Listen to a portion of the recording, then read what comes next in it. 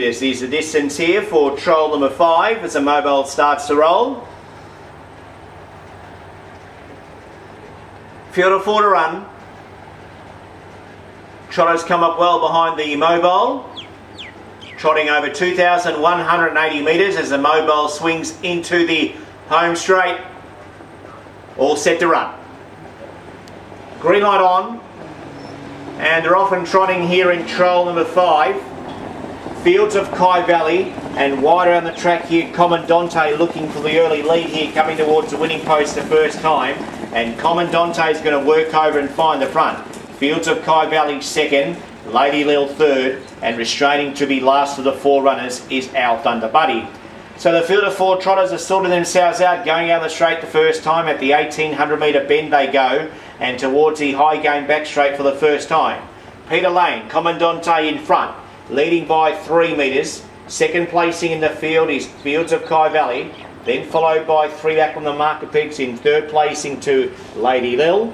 And our Thunder Buddy is last of the four runners. Inside the 1600 metre mark they go, the field of four trotters, and at about 10 metres coming from first to last. Commandante for Peter Lane. In searching to lead all the way, heading about to head off the back straight with 1400 metres left to go. Second placing behind the leader's back is Fields of Kai Valley for Ross Payne. George Chamoris with Lady Lil, three back the marker pegs in third placing.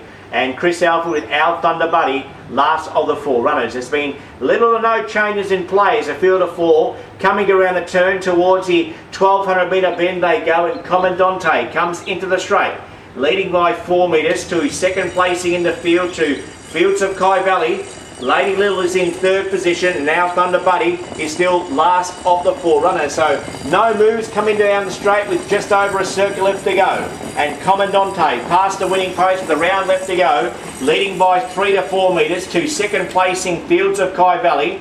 Lady Little third, and still Our Thunder Buddy last of the four runners. As they work out the straight, inside the 800 metre mark they go and making the way towards the Hygain back straight for the final time goes Commandante. Leads by four metres. Fields of Kai Valley second. Lady Lil third, and still our Thunder Buddy last of the four runners, and still no moves the head down the back straight. 600 metres left to trot. Commandante in front, still held together, still leads by four metres. Fields of Kai Valley second, Lady Lil third, and our Thunder Buddy still last of the four runners, and about eight to ten metres coming from first to last. 450 metres left to go as they're about to work off the back straight for the final time. It's Commandante in front, leads by 4 metres. Fields of Kai Valley second.